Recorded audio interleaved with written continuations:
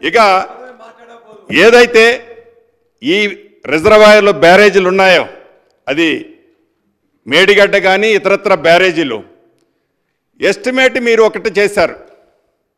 Estimate చేసిన తర్వాత ఆ estimate cut off wall out upstream కానీ downstream cut off wall కానీ ఆనాడు మీరు cut off wall RCC concrete వాల్తో చేశారు. చేసిన దాన్ని వర్క్ మీరు స్పీడ్ కావాలనా మీ ఇన్నర్ ఫీలింగ్ ఏంటో నాకు తెలియదు. యుద్ధ పాతిక మీదకి మీద ఆ డిజైన్ చేంజ్ చేసి ఆ డిజైన్ చేంజ్ చేయటమే ఈనాడు ఆ ప్రాజెక్టులు పట్టిన అగోగ అధోగతి అనేది ఈ వేదిక ద్వారా మీ ద్వారా వాళ్ళకి తెలియజేస్తున్నాను.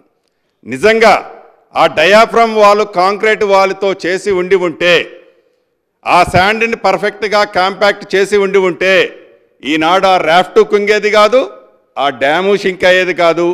ఈనాడు తెలంగాణ ప్రజల ఈ వేలాది కోట్ల డబ్బు దుర్వినియోగం అయ్యేది కాదనేది ఈ సభ ద్వారా మీకు తెలియజేస్తూ చివరగా నేను చెప్పేది యుద్ధ ప్రాతిపదిక మీద ఇదొక్కటే కాదు. ఇదొక్క డ్యామే కాదు. మిగతా ఉన్న అన్ని డ్యాములో ఈ మూడు పిల్లర్లే కాదు. ఇందాక ఉత్తమ్ కుమార్ రెడ్డి గారు ఇరిగేషన్ మంత్రి గారు చెప్తున్నట్టు రెండో డ్యాంలో సీపేజ్ మొదలైంది. మూడో డ్యామ్స్లో కూడా డౌట్ బుడగలు వస్తున్నాయి ఈ మూడు పిల్లర్లే కాదు ఈ మూడు పిల్లర్లే కాదు. Same system. ఈ మూడు పిల్లర్లు అన్నది డ్యామ్కి ఒక ఎడ్జ్లో జరిగిన డ్యామేజ్ ఇప్పుడు. సెంటర్లో అటుపక్క అటుపక్క ఎప్పుడో అడుగున్నర కుంగింది. ఆ అడుగున్నర కుంగిన తర్వాతనే మహారాష్ట్ర సైడ్ అడుగున్నర కుంగిన తర్వాతనే దాని మీద ట్రాఫిక్ని మీరు బంద్ చేశారు. అప్పుడు మీ ప్రభుత్వం చాలా పర్ఫెక్ట్గా ఉంది. ఆనాడే మీరు శ్రద్ధ తీసుకొని ఉండి ఉంటే మొన్న ఇది డ్యామేజ్ జరిగి ఉండేది కాదు.